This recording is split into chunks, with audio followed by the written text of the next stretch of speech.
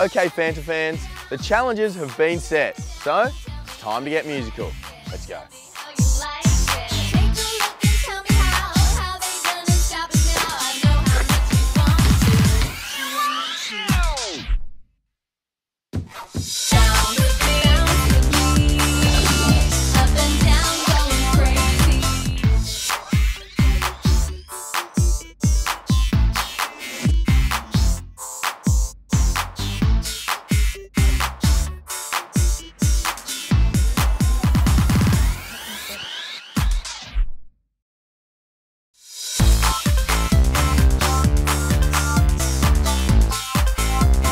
So that's three days of fun completed, but there's still two more days to go.